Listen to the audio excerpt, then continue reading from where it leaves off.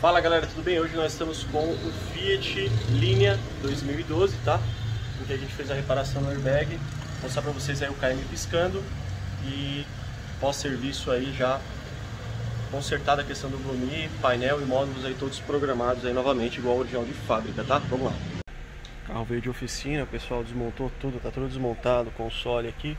E a gente vai fazer agora a manutenção do Blumi, dessa KM que tá piscando aqui. E aí eu mostro o resultado para vocês aí do veículo já programado, já com essa questão do Blumi, da quilometragem piscando aí que está incomodando o cliente aí que não, não achava solução, tá bom? E deixa eu fechar a porta aqui, só para mostrar para vocês. Se aparece a KM piscando, porque é importante mostrar. Ok. Avaria no airbag. Aí. Então tá dessa forma aí, quilometragem piscando, viu galerinha? E a gente vai resolver agora essa questão desse blume queimado aqui, desse Fiat Linea ano 2012, tá bom? Daqui a pouco eu posso o resultado aí, pessoal.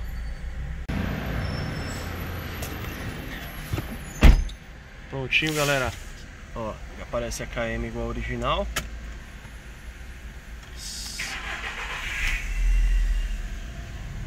Todos os modos programados e pareados como original de fábrica. Quilometragem parou de piscar com aquele defeito chato. O veículo possui uma avaria de airbag que vai ser analisada na oficina aí do cliente aí que trouxe pra gente, tá? O princípio é isso.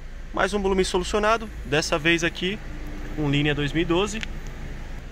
Para você que precisa de manutenção no Blue da linha Fiat, tá? A gente tem vídeos aí no canal do Fiat Bravo, do Punto, uh, qual mais? Do Fiat 500 e agora tá entrando do linha todos os veículos que possuem sistema Blumi. A Velo Motors Velocímetros, localizada na zona sul de São Paulo, na região do Butantã, atua na manutenção desses itens, tá? Para você que precisar de um serviço desse, entre em contato. Nosso WhatsApp está aqui no canto do vídeo.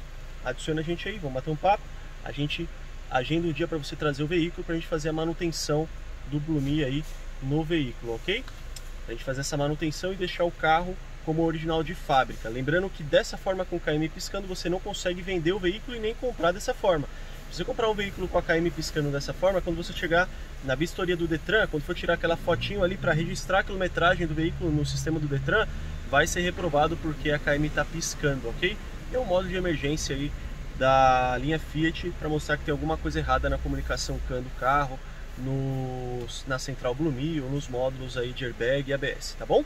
Para quem não é inscrito no nosso canal, aproveita aí, inscreva-se, deixa aquele like no vídeo para dar aquela força pra gente, ative o sininho de notificações para vocês ficarem cientes de todos os serviços praticados pela Velomotos, ok? E um forte abraço a todos!